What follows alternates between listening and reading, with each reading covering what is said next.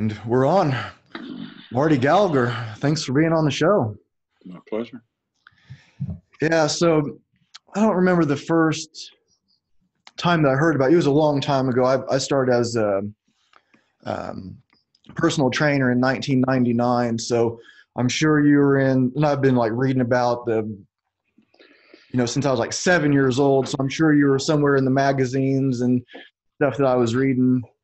And then uh, I started learning more when I got into like kettlebells and reading like Pavel Tsatsouline and then him mentioning you. And then you know, I read your books, the purpose, purposeful primitive, strong medicine, and then articles. And uh, what was really drawing my interest besides, yeah, you can squat a whole bunch and you have these, you know, uh, you know, amazing numbers in your lifts is like digging into like the Zen part of it. And, um, and, and from my view of looking at it, like, like we were just about to start talking about before we hit record is like lifting as kind of an internal martial art or blending the internal martial art with the lifting using those uh, techniques. So um, if we could start there, if you could you just want to give your perspective of like maybe how you how you started because you yeah like I was just reading say you had your first meet in 1968. Uh, no, no, no, no. That's uh, that's actually a little late. I started uh, lifting weights in 1961 as an 11 year old, and then uh, uh, my first formalized mental recalibration program is what we were introduced into the the whole Soviet Iron Curtain auto visualization, which was what the the Soviet lifters used. Uh, you'd see them if you'd see any of the great Russian lifters of the 60s and the 70s, and they they stride out to the and even the 80s, and they stride out to the barbell, and they're just standing there with their eyes closed, everybody's going, "What are they doing?" What they're doing is that they're running a repetitive movie of themselves doing the about to happen lift. And they run it over and over and over, and uh, it drills into their mind this, this image and this pattern of success. So that's what we were taught to do. We were taught to, now you don't, you don't have to use auto visualization on your, you know, 135 pound warm up but on your heavy sets yeah you recalibrate your mind. You you purposefully uh, you're trying to put yourself in the zone right? And what the what the soviets and the iron and the east germans scientists discovered that is that this actually works. Um, this this it hones technique uh, it, it puts you in the proper headspace that you need to for the specificity of the event that you're doing. It's not just confined to weightlifting. You'll see uh, elite bobsled drivers, you know, at the Winter Olympics, and before it's their time, they're they're looking at them backstage, and their eyes are closed, and they're doing this, and what they're doing is auto visualization. They're they're running themselves through that whatever 2.8 mile course whatever it is over and over every turn everything over and over and over and over and over. And if you do it for a lot of years i started doing that auto visualization i guess when i was 12 by the time i was 17 i'd won a national championship as an olympic weightlifter. Right. And uh, i had my auto visualization technique down pretty good. And so in 1970 it was a short hop, skip, and jump from Soviet East German auto visualization into uh, formalized meditation. Right. And did you have a meditation teacher? Are you reading these from books? Did you have Combination. Uh, you know, you, I think the jump in for me was uh, Paramahansa Yogananda's autobiography of yoga. So that kind of led me into all the Hindu nomenclature, and you get into the Bhagavad Gita and the Upanishads, and you know the, the different Indian saints, Sri Aurobindo, Ramakrishna. You know, you work through the the Hindu literature, and they have a very. And I was looking for the the nuts and bolts of the meditational techniques. Right. Mm-hmm. I, was not seeking enlightenment. I wasn't seeking a religion. I wasn't seeking, you know, what I wanted was uh, I wanted to see how they were altering their minds and if there was anything that they were doing that I could take back to the world of athletics. Okay. And in the, the Hindu was interesting. The Hindu, it's very um, in, in, internalized with um, with a high level Hindu meditator. They can shoot a gun off behind their head and they won't hear it right? Mm. They they're able to shut it out. Now you do the same thing with a high level Zen master, and they hear it, but they don't react to it. Right. Right. So it's a it's a difference. If you look at the the Hindu tradition of the the fakirs, the the guys who would lay on nails and you know uh, bury themselves, and what they were doing is they were using meditational and breath techniques to do these extraordinary feats to you know bring attention to their you know their gurus their religion their practices. So you know you work through that. And then from then i went into the zen. And you know in, in the zen tradition you have soto and rinzai and the you know the rinzai is koan k-o-a-n and they give you a uh, an unsolvable riddle. Mm. And you ponder it and ponder it and ponder it till eventually your um, your conventional discursive reasoning is is pierced, and you know you have a, a burst of enlightenment, right? Yeah. The, the Soto school is different. They're just like, we don't seek anything, just sit, Eh, you know, just do the work. And uh, they that's uh, the Dogen Zenji uh, that founded that that school, and that appealed to me mightily. This idea of just don't have any thoughts of gain, just sit and just get into the mechanics of the breathing and the posture you know the uprightness and uh, and just do that and don't don't have don't be seeking to see visions or you know what I mean or, or, or uh, religious euphoria. So you know you work through that, and then uh, from Zen we jumped off into uh, the Taoist to China. You know, and there it's the northern Chinese tradition of Taoism, and of course the Taoist, uh, and the, and also in Zen. The Zen was heavily linked to the to the Buddha, to the samurai, to the warrior, and uh, they had a Mokkyo-san, which was uh, application of meditation for heavy sport and combat. And they'd use it. A lot of the uh, kendo players would use it right before they, you know, beat the hell out of each other with, mm-hmm. you know, with sticks. And the idea is you want to place yourself in a mindless, wordless state that makes you completely receptive to incoming. If you're intuitive, you're more able to deal with the spontaneous actions of an opponent.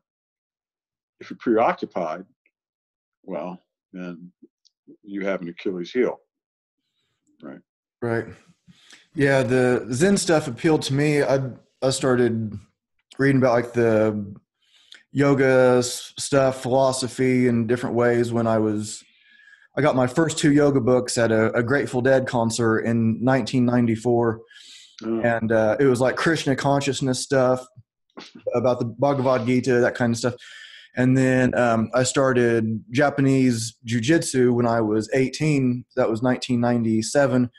Okay. And every class uh, had 10 minutes of meditation at the end, Zen meditation, real formal. And uh, then sometimes we had like hour long meditations where like 20 minutes seated and then a walking meditation in between uh, yep. sets. And yeah, the like not seeking anything particularly amazing, just like there, it can be like real, um, not very exciting, but that's, uh, but exciting things can happen, but that's not, just like you're saying, that's not what you're what you're chasing. And uh, so when you're you're already lifting and then you're you're reading about this stuff when did how did you start making the connection between like say doing a deadlift and what maybe uh, uh, the, the, the samurai are talking about like with the the soto zen zazen and well what's the commonality? The, the mental commonality is that whether it's um, a limit attempt and you don't have to be an elite athlete or an elite warrior, but just a, a limit attempt, something 100 or 102 percent of your particular capacity. Uh, yeah, that uh, that creates a, what I term a, a hormonal tsunami. When you have intense physical effort, for example, uh, absolute strength consists of you know short movements, maximum payload, uh, power lift, you know, a squat, a deadlift, a bench press. You know, these are very short movements, but you're using maximum weight, no real regard for velocity. Mm-hmm. Uh, and if you work at 100% of your capacity, whether it's a three rep set or a five rep set or an eight rep set, you'll have a, a hormonal release. Your, your body will release hormones. It doesn't happen if you're cruising along at 75 to 80% of capacity. And that's what a lot of people miss. A lot of guys are doing like, I do five times five. Well, that's great, but that's never 100 times one, you know? Mm-hmm. And uh, the, the hormonal release, and it's, it's endorphins, it's adrenaline, it's serotonin, it's, it's a half a dozen different chemicals that release into the body, and it creates a, what you know we call the after workout bliss state. You know how good you feel after a really kick-ass workout. Mm-hmm. That's attributable to hormone hormonal release. Okay, you just feel good, right? And also, if you've been successful in the workout, that compounds it. so, but what athletes didn't realize is that when they achieve that that post-workout hormonal bliss, it's actually an advanced meditational state. Right? What's the goal of meditation? The go- goal of meditation, whether it's Hindu, Taoist, Zen, whatever, is to achieve that mindless, where the the internal thinker, the observer, the talker falls silent. But mm-hmm not from some act of willpower. You can't you can't use your mind to force your mind to be quiet. That's just another clever act of will. It, the mind has to fall silent of its own accord. Extreme effort will cause it to fall silent of its own accord. Uh, right. Intense meditation can do that, but extreme exercise is a lot quicker. Um, jumping off the side of a mountain in a wingsuit will give you that same hormonal excitation. Jumping off a bridge with a bungee cord. We, we do it through squats and deadlifts and bench presses, right? And we also recognize it for what it is, and it is an advanced meditational state. Athletes just didn't recognize it as such, and they haven't nurtured it as such. We're just pointing it out. So it's sort of a intense training intense progressive resistance training is sort of a backdoor to you know advanced meditational states. It's kind of cool. Yeah, yeah, that's that's that's right where I am too. When I was starting out, I was like you know studying martial arts and okay, well, what are these people from Japan saying, and what about the people from China and India? And like, okay, they're using different words for the same thing. Like, what do they have in common? Okay, I'm going to do that. You know, the one thing that the guy that's far off, he's the only one saying this thing. Um, maybe I'm not going to pay attention to that right now. I'm going to do the stuff that they're all talking about. And so just like focus on uh, that kind of stuff. And, uh, you know, sometimes, um, you know, um, so I, I, was a StrongFirst instructor for four years. Um, and so reading about Pavel Tsatsouline, when I first started reading about him, like about 10 years ago or whatever it was, he seemed to kind of em- embody what I was trying to do. It's not about the lift, it's like what you can do other than just lift the weight and, and like apply it to martial arts. And so I'm reading and then end up getting certified through him. And then uh, one of my partners at the at my gym, I have I have a gym here in Indianapolis, is Valery Fedorenko, and so I'm learning all this stuff that that Pavel says, and then Valery Fedorenko, everything is completely the opposite. And he's but he has the one he has all these world records and he does all these insane I love, feats. I, I love world records. Yeah, uh, it's it's proof Yes, that indeed. what you're doing works, and so his breathing it's the opposite. You know, he exhales at the bottom, he inhales at, at the top. He or at, at the he inhales through his mouth and his nose at the same time, uh, doing the lifting up on the jerk, and it's like exact opposite. So have you found like you have this method and it, it's working and then somebody else is doing something uh, that has better numbers it's like yeah actually i do everything the opposite of what uh, I, I'm I'm a product of a school of strength.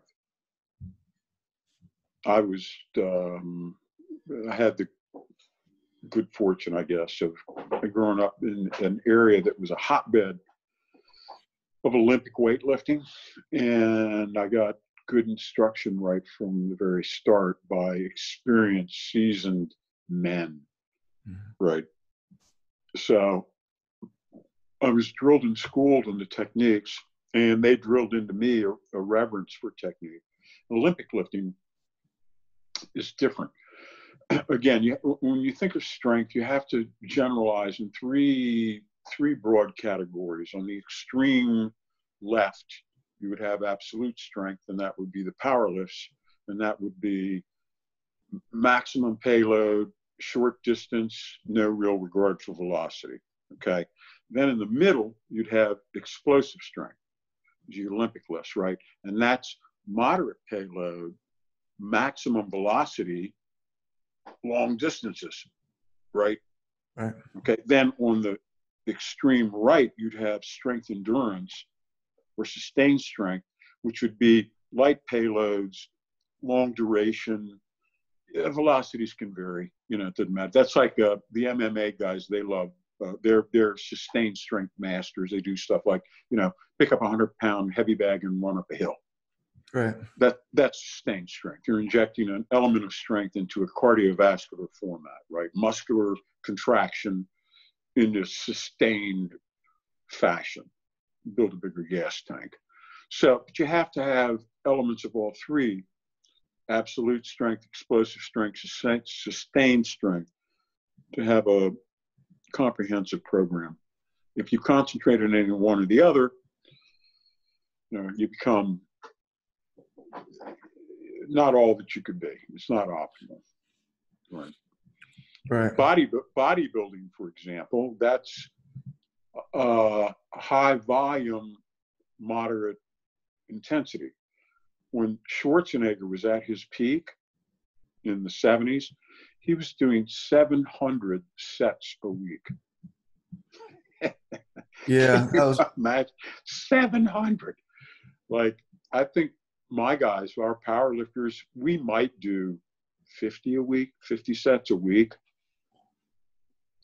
Low volume, high intensity, short sessions. I've got a lot of guys that are just uh, strength training once a week and get incredible results.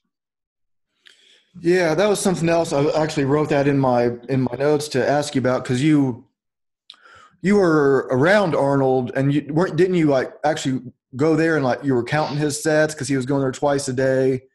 No, no, no, no. no. It, it, the, there's a great, fantastic book by a guy named Rick Wayne, who was the editor in chief of uh, Muscle Builder magazine, and and, and Rick wrote, wrote a really great book called Three More Reps, and in it he outlined Schwarzenegger's exact training routine when he won the '76 Olympia, and what he did is he trained six times a week, twice a day.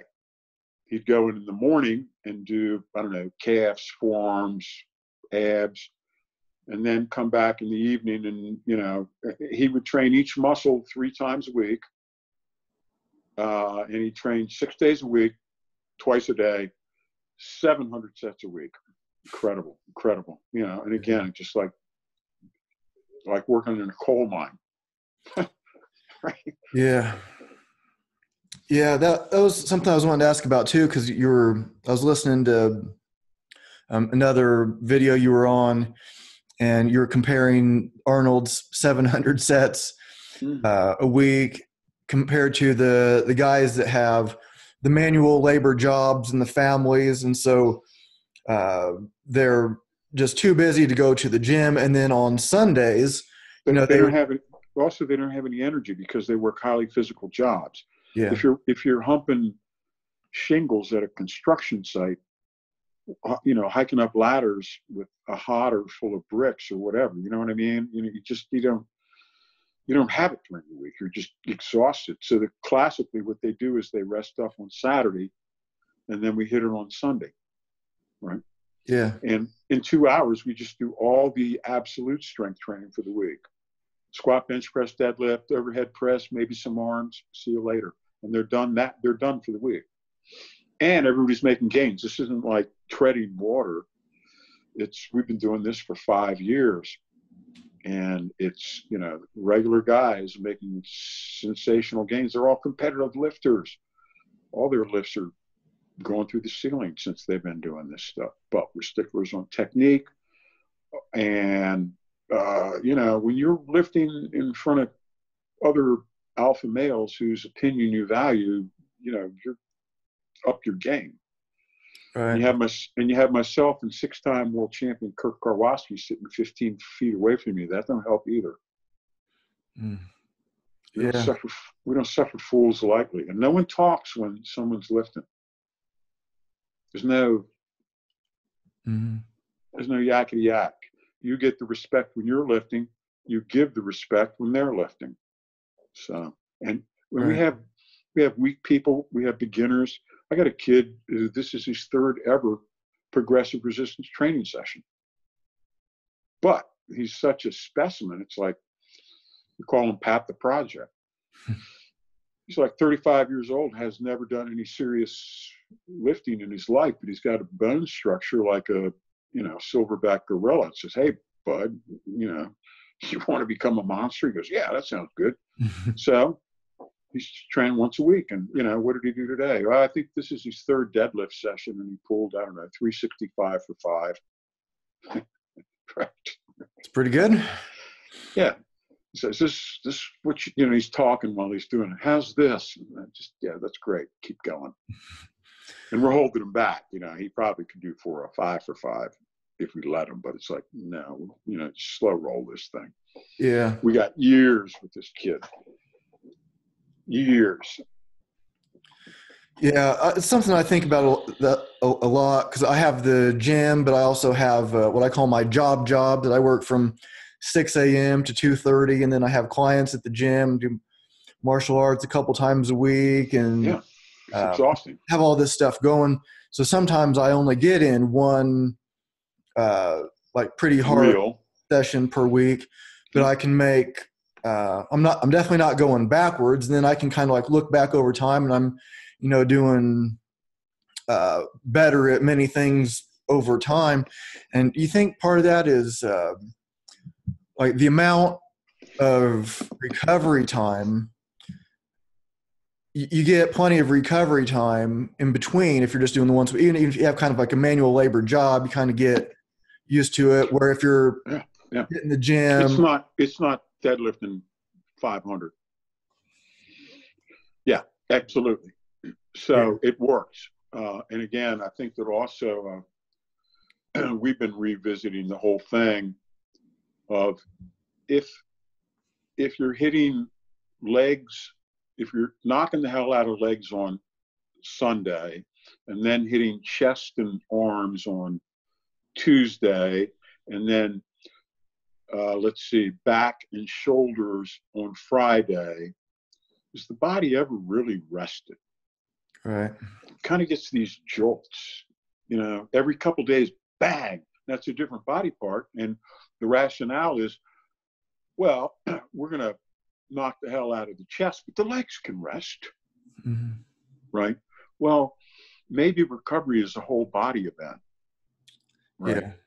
So that's why we're, I think part of the reason that we're having success with this once every seven day thing um, is they're, they are, they're rested for absolute strength training like we do, but when they come in. Now, they tried to hit it on Tuesday and again on Thursday, plus working, you know, hard jobs, it's like, wow. Uh, you know, you, you'll never, at, at best, you'll be able to perform at, you know, 100% of your 82% fatigue effort. you know, if you're always fatigued, uh, the, the best effort is you're 100% rested and you give 102% effort. That's where the gains are. Right. Who cares if you give 102% effort, but you're only at 83% of capacity because you're fatigued? Right. Yeah, and I um heard talking about like the if you have like five five guys training together. Yeah. Are you are you um are you timing the rest period or is it No, it's just no, your turn? no. No, but but but we, uh, guys aren't sitting in Stratoloungers. You know what I mean? I mean, it's like no, but I mean, by the time you have five, if you have let's say five guys per platform, which is a good amount, that's a good pace, Mhm. right? You know, change the way you, you, you know this guy goes. That by the time you have five guys go, you're ready. Let's go. There's no need. You don't need 20 minutes rest. You really don't. Swear to God.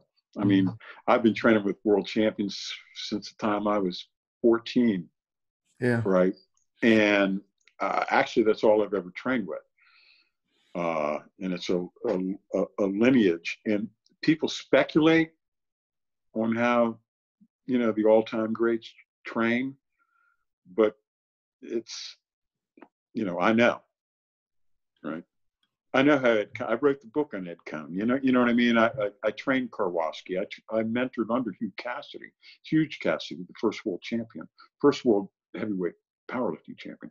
So you have when you work with the best of the best, you see how they move, how they pace their workouts. You know how how and when they exert, how hard they exert. You know how they psych, right?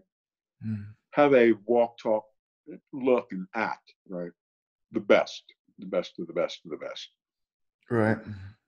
Yeah. And uh, as, as a competition coach, I worked with Lamar Gant, uh, Joe Ladnier, uh, you know, a who's who of every great powerlifter on the face of the planet. Uh, I've, I've, I've worked with in competition. And that's when you see who rises and who wilts. You know, it's not, it's a strange, strange thing, pure strength.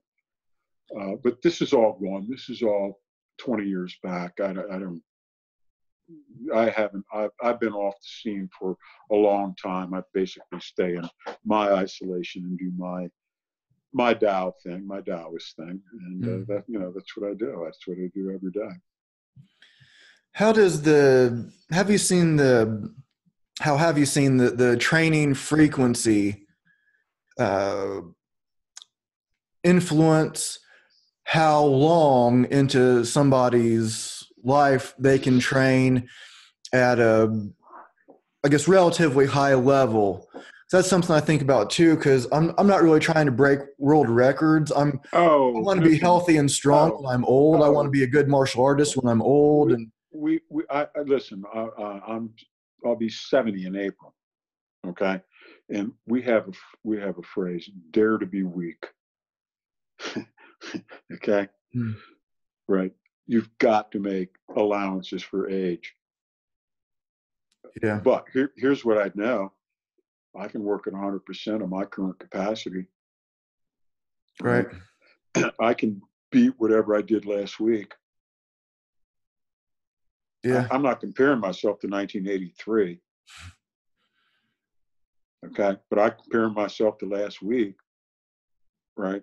And I Yeah. can improve on that. Trust me. And that's enough. But I can't fudge on the rules. The techniques have to be crisp. There has to be uniformity and uh, there has to be a consistency.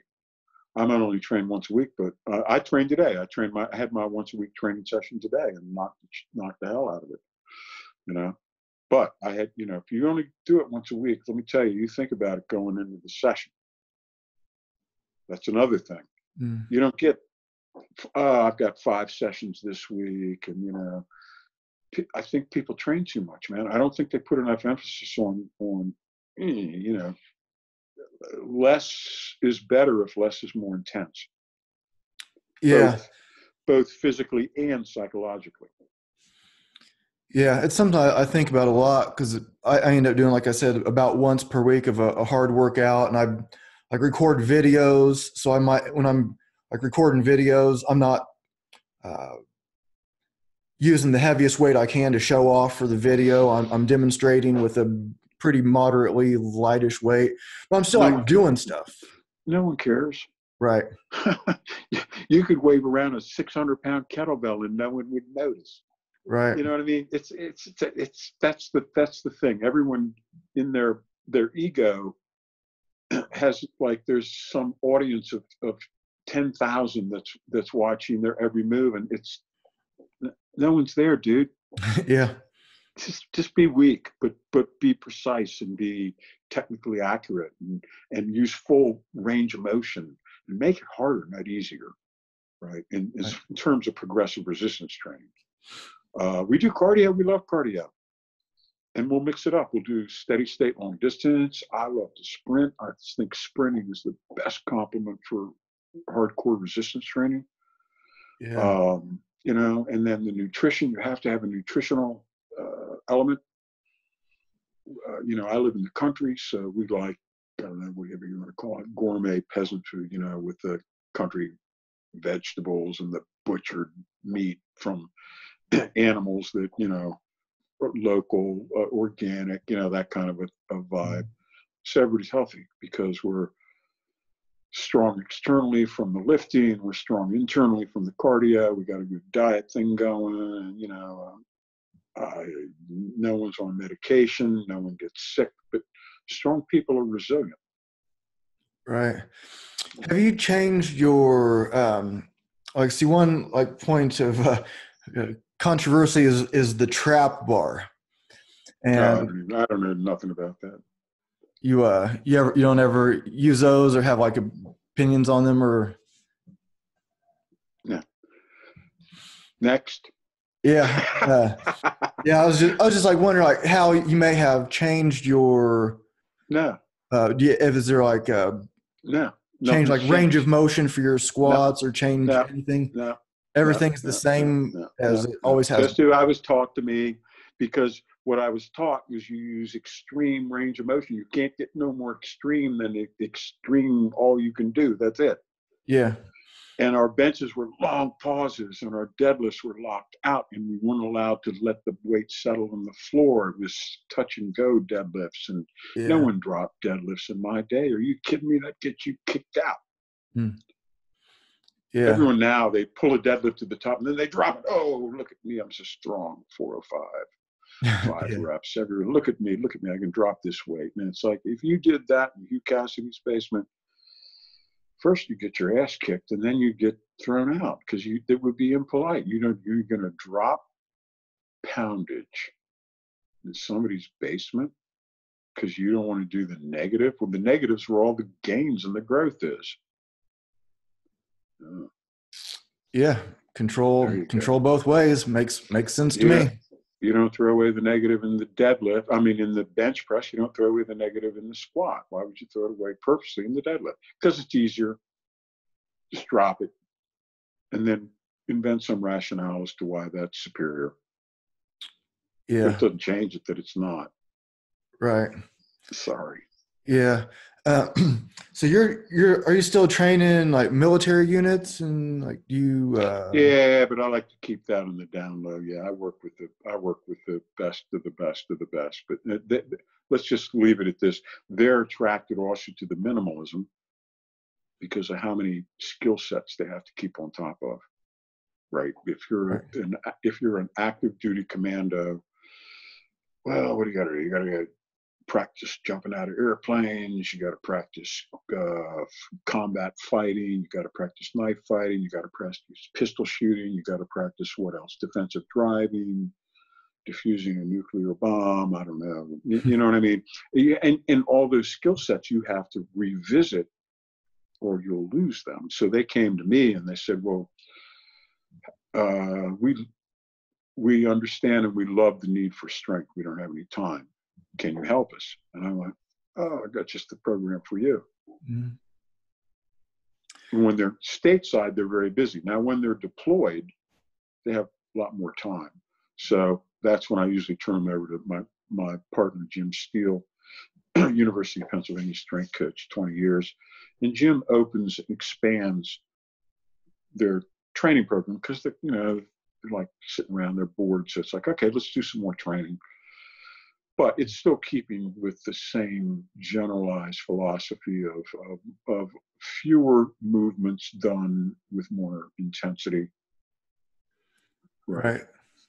So, yeah. And are they uh, can I like say like what what techniques are they doing? Is it the squat, bench, deadlift? are they yeah, doing? yeah. And yeah, absolutely. Yeah, absolute strength. If you want to get that Mike Tyson knockout strength or that that brute strength is what they want. They don't need cardio. They get plenty of cardio doing their damn job, right? Right. And they really don't need explosive strength all that much because they do a lot of explosive stuff. Leaping, bounding, jumping, fighting, you know what I mean? Uh, But what they really like is that absolute strength, that brute, brutal strength that also builds muscle and power. And it's like, give us that. That's what Yeah. we all want, more of that. That helps us hump our 80 pounds of gear easier. That helps us hump mortar base plates easier. That helps everything. That helps us if we have to drag a, a, a comrade off the field while he's wounded and I have to return fire with the other hand and he weighs 280 pounds with his gear on. But I only have a 250 pound deadlift, so I can't do anything about it. Mm. Unacceptable. Right. Yeah, I saw they recently changed the requirements, the or the the PT requirements for the army to have the deadlift. They use the trap bar, but whatever, and and then some other uh, strength they have to meet. It's, just, it's, it's, it's totally different. There's that's like the Yeah. difference between, uh, you know, uh, it's it's completely different, Right. And I have no connection with that world. Yeah. That that generalized world. that- No, this is this is different. This Yeah. is the- yeah. Yeah, uh, My people are motivated professionals, and they want the knowledge. I don't have to convince them of the knowledge. And I'm not interested in, turn, in, in, in talking to anybody that's not motivated. It's not my job. I'm not here to motivate you. If you don't want to get motivated, well, just step aside because I know that there are plenty of people are. And I will work with a, an, a highly motivated, out of shape, shape person before I will work with an unmotivated superstar. I learned Yeah. a lesson on that. So Yeah, that makes that makes sense. Like, what kind of um, like warm up st- stuff do you do? Or is is the warm up just the lift, just doing like li- the lighter, lift? li- lighter sets of the lift, but again, we're using full and complete range of motion. So it's highly specific. And we take small jumps. We don't take big jumps. You know, 30 pound jumps is pretty standard for us. So, you know, you go 135, 165, 195, 225, 255, 285, 350. You know what I mean? Mm. And just at every bus stop, whoever wants that poundage jumps in. You know, who wants to who wants 295? Oh, yeah, okay. Step up, do your set, whatever your prescribed reps are, because it'll differ. Step back out. Everybody has a periodized regimen that it's a 12 week cycle, and they'll have a, a target. Every time they come in that door, they have a target poundage and reps in each lift for that day. And they make that and they check it off and then they move on. But no one just walks in and goes, oh, well, you know, no, everybody has a, a predetermined goal. And uh, so, what kind of uh, so at your so the, the warm ups it takes you know, of course the higher the weight the more the longer it takes to get there right but is it like how like how do you um, uh, like say how many like what kind of like programming or, or, cycles do you vary the kind of program okay i'm going to do a, yes. a linear cycle yes yes yes and then yes. a we wave love, cycle we, and yeah well we love contrast if you've done 12 weeks where you're concentrating on power and strength which almost invariably includes some lean muscle up, right? A little bit heavier eating, okay, probably a little less cardio. What better contrast than after you do 12 weeks, three months of that, go, man, I'm tired of that. Let me shift back the other direction. Let's do uh, moderate poundage, higher volume lifting, more frequent sessions, more cardio. Let's lighten up the eating, right? So now we're shifting back. Now you're refining that size that you built. And it's like, and then we like to sync it up with the seasons. Like, what better time to add size and strength than in the deepest of the winter? Mm. What better time to get maximally ripped than in August? Right? Mm-hmm. Right? Yeah. And then the, the spring and the fall are transitional, always. But the deepest of the winter, well, that's when I want to. Well, I live in I live in the mountains of Pennsylvania, so that's when I want to, you know, add the plates in the bar and eat some, you know, lamb stew and right, and it's different. And then in the summertime, it's like okay, lighter, more, faster, more cardio, more activity because it's the summertime, less eating. Who cares? You know, I mean, it's like eating. Who even thinks about that, right? Because we're so mm-hmm. active and, and that, and then actually ripped. And then you get tired of that come fall, and it's like, oh man, I'm so skinny. Let's put some size back on, right? and it's just a, it's just a very nice holistic ebb and flow, and it actually ties into primordial you know, if you look back, eight, there was 800,000 years of man before agriculture was invented. Agriculture was only invented 10,000 years ago, very recent development. Before that, people, it's in their DNA. We're seasonal. You know, well, I mean, if you if you're in our my kind of climate, your kind of climate too, right? Mm-hmm. Yeah, it makes sense be, getting in tune with the, the seasons and what kind of like naturally happens. There's like some, um, I work at a, I train at a, a, wilderness survival school also, teach like strength yeah. conditioning, martial arts stuff. And uh, it's, it's divided into like the eight directions, um, but also uh, seasonal things. Yeah. And um, so it just kind of like makes sense, like what you eat, what you do, the activity, and so it's there's definitely something to being in tune with the seasons and uh, what you what there is to eat naturally and then what your body can do with that energy.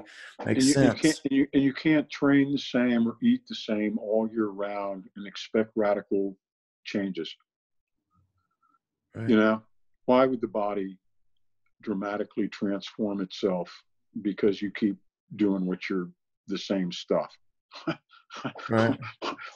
Where is the incentive there, man? Right. Mm-hmm. What do you got to do? Well, you got to do something dramatically different.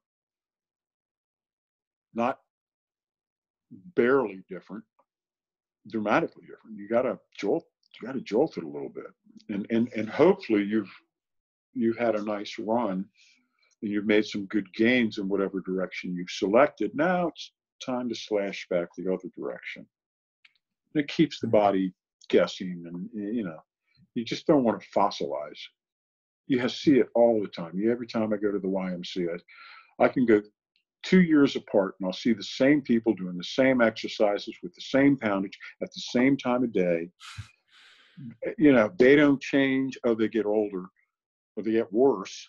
But it's, eh, you know, and it's, and everybody's working at that, you know, 60 to 75% level and they ride the bikes and it's just not enough. Yeah. There's not enough intensity there to, to, to cause the body to, to do anything about it the body grows muscle as a defensive measure. If you don't stress it, there's no need for it to grow that muscle. The, the muscle is there to help to help the trauma, mm. right? To help to help help it against these future attacks where it's continually overloaded. We can't we can't deal with this. Help us. What what do we do? Oh, I've got an idea. Let's build some more muscle. Then we'll yeah. be better able to resist this continual onslaught of more than we can handle. Oh, well, that's how we grow. Mm. But if there's no continual onslaught,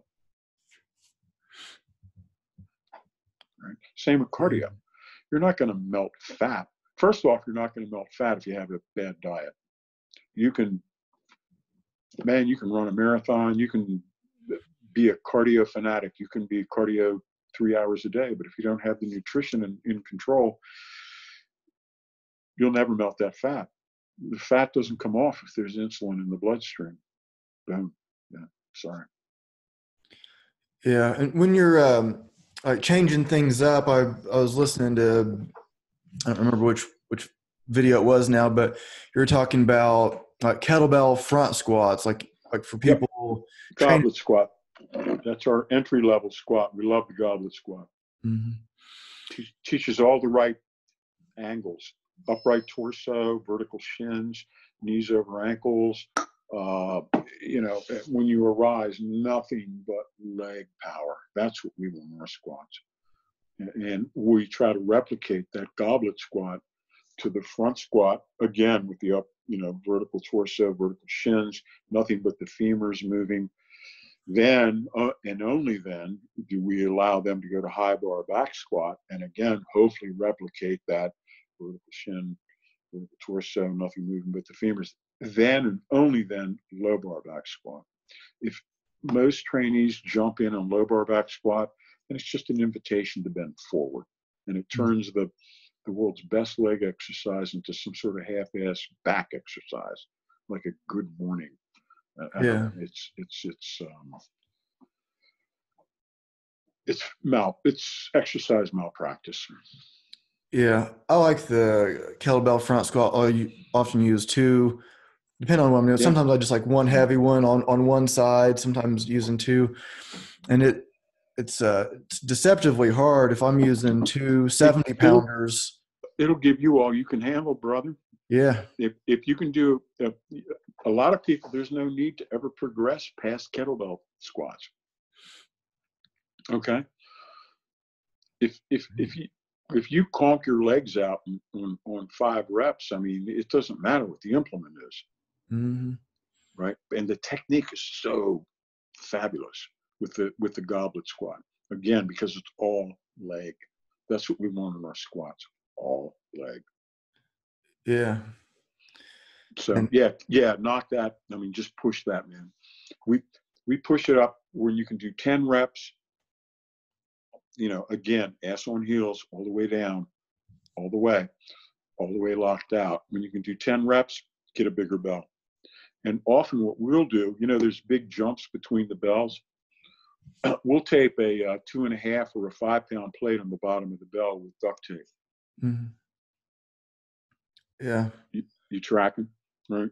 Mm-hmm. That way you don't have to jump from whatever. You know, there's some big spaces between those bells. Yeah. Yeah, yeah, they're. I'm I'm a big fan of those. I think they they apply well to. Uh, like I'm always thinking like how does stuff apply to martial arts, and if you have like a couple, whether it's one or two heavy kettlebells in the in the front, it, it kind of helps you stay upright. Like if you're uh, resisting takedowns or even going for your own like upper body throws and that kind of stuff. To me, it, it really uh, applies uh, has um, to those situations. When I, I like you, it. Do you uh you ever do like the Jefferson deadlifts and No, just, no we, the, with the, the most the, the only variation that we'll do is we'll we will have the guys in again in the off season. How do you create contrast in the deadlift? Well, one thing you can do is you can do deadlifts off standing on a hundred pound plate if you're a conventional deadlifter. So it's a maybe two and a half or three inches. Mhm. So you put the start of the deadlift at a deficit. And by putting it at a deficit, when you go back to the floor, it feels, oh, so much easier. yeah So we'll do that. Also, we'll do what they call rack pulls, where we'll uh, load it up and, and pull for maybe the last six inches. And that builds uh, upper back uh, traps, rhomboids, and also grip power. So we like that. Those would be the two, the only two assistants. We spend a lot of time doing the deadlift because it's such a complex technical exercise. We want we want practice on it. It's it's uh, to me it's the most difficult. It took me ten years to perfect my deadlift form. Hmm. It's like a sword. It's like a, a samurai with a sword pattern. It's, it's just uh, it's it's a matter of at the at the highest level. It's a matter of uh, millimeters. Mhm. So yeah how often are you throwing the the rack pulls in um, i like those because you c- just how how you can just put ridiculous amount of weight on and Yeah, uh, yeah, feels every- pretty everybody- safe yeah, everybody likes that. Plus, the, what they'll do is they'll they'll wear straps, so then they can really partially pull some weight.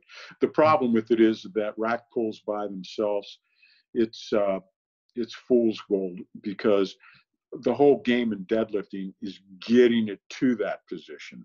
It's the first two thirds of the movement. The last third of the movement is easy.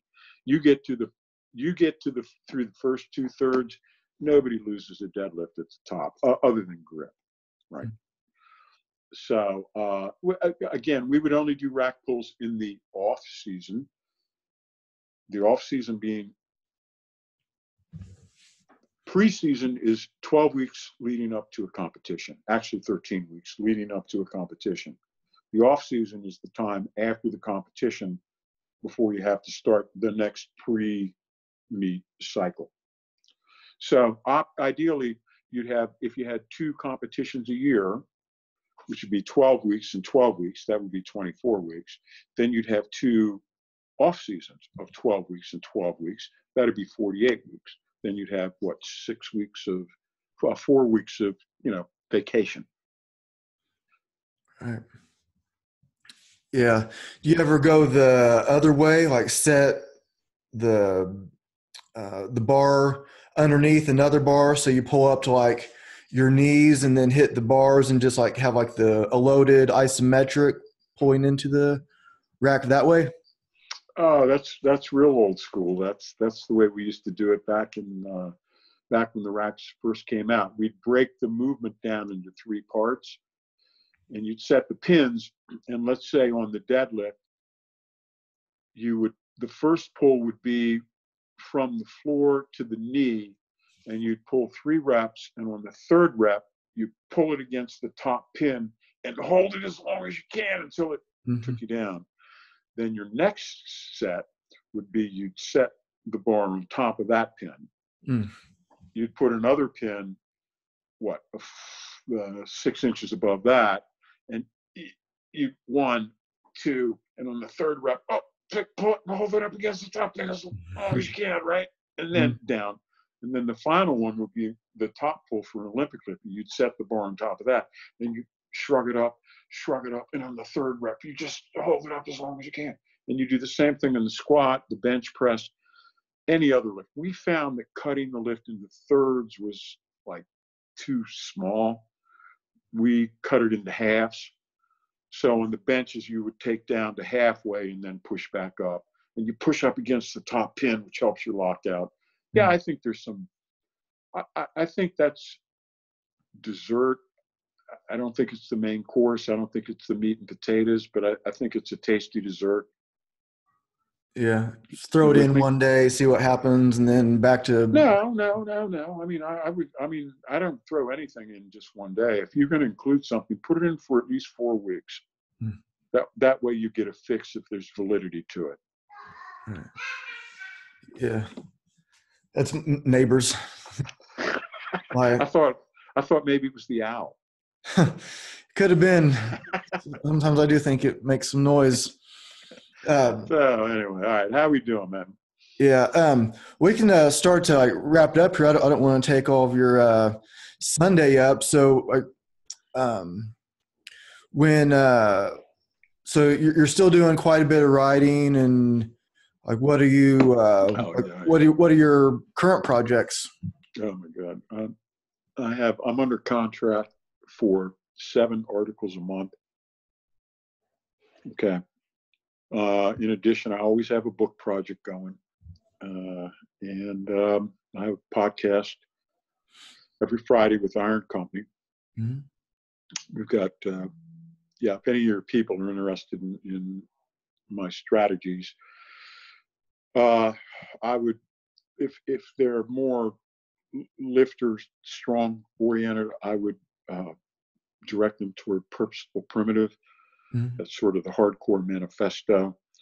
That's uh, 450 pages. They can get that through Dragon Door. If they're more broad based, you know, regular type folks, certainly uh, Strong Medicine, which is a book I did with Dr. Chris Hardy. And uh, Chris is a top top flight naval doctor. so this is, um, you know, generalized public. This is like the the book you give your parents or something. You know, you know what I mean? Somebody's uh, who's not in the best shape and wants to tighten up. This is um, this is good stuff. Uh, anybody who's in the Washington D.C. area, we're putting on a uh, intensive one-day clinic on the bench press and the overhead press. I'll have uh, Jim Steele with me. Uh, I have uh, six-time world champion, seven-time national champion Kirk Karwoski, and we're going to drill down into both the the bench press and the overhead press techniques. There's five variations in each of those two lifts, and we we take the folks through each of the sequential variations. And uh, again, you've got uh, Kirk there, 600 pound raw bencher, uh, and uh, you know we'll, this is the second. We have like an ongoing series of uh, I don't know. We're we're really trying to get these techniques out to the general public because we feel that it's the tech. It's actually it's techniques and tactics Mhm. because in addition to every seminar where, where we workshop techniques, there's always a tactical part of it. Yeah, yeah, sounds good. Five variations of each that people can like dial in. The idea is for people like pick like the main one that's right for them. It's no, like, it's it's it's more like work your way through boot camp, Hmm. and and and folks might not ever need to progress past a certain level. It's not like oh, it's like school that they have to go through all five grades. But many many people never, for example, like we talked about, they never really have to go past the kettlebell deadlift. I mean, that's plenty. I mean, Mm, listen, you know that that's a fabulous exercise, and there's there's no. It's like oh, if you don't go to barbell squatting, you're a failure. It's like no, no, no. You know, wherever you're, whatever the tool is that allows you to exert maximally and safely, that's that's where we want to be, right? right. Yeah, very very cool. So, um, how can uh, people find you? Your uh, ironcompany.com. And, uh, you know, we're, uh, uh, we're a big presence there. Uh, Jim Steele and I do a uh, seminar, uh, do a, a podcast every Friday, and, and that's live. And we discuss every every topic under the sun. Additionally, I post a column every week, and you know, it's I'll talk about just about any crazy subject that comes to mind as it relates to health and fitness.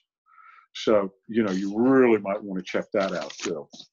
uh, Yeah. because again, we, we, we carry so many uh, different topics, right? It's not just lifting.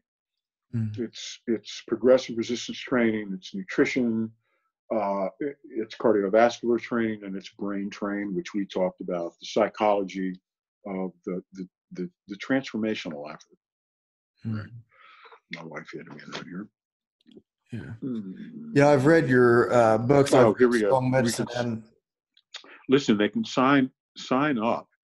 Uh, it's a Facebook event, and at Functional Strength, or, or you can contact Stacy at somg1 at comcast.net. And it's the the workshops are filling up pretty pretty quickly. We have a lot of high level professionals that come in. It's interesting is that the uh, we have a great mix of absolute beginners and in the highest levels of these world champion athletes and these these elite military guys but everyone can train together because the the techniques and the, the tactics are the same it's just Yeah. what difference is the, the payloads and the intensities right. So it's it's it's an interesting mix and and again it's uh, we're getting we just want to spread the word man. We're just getting really such good results for anybody that that is able to to get a piece of our system and we buy their time back. It's you don't have to spend uh, six hours in the gym a week and you're probably not getting any results for your six hours anyway so let's Right. maybe change some things up and let's get some people some real results we certainly can do that Yeah, yeah, it makes sense to me. I, I'm I'm sure that is a big, big hit, and uh, I, I appreciate your time, and uh, oh yeah thank thank you and we'll uh, we'll certainly s- spread it around. I'll I'll get it published today, and um, so I'll go ahead and uh, stop the recording, and I'll, I'll talk to you for just a second after uh, I stop it. Sure. Yes, sir. Thank, thanks again. Thank you.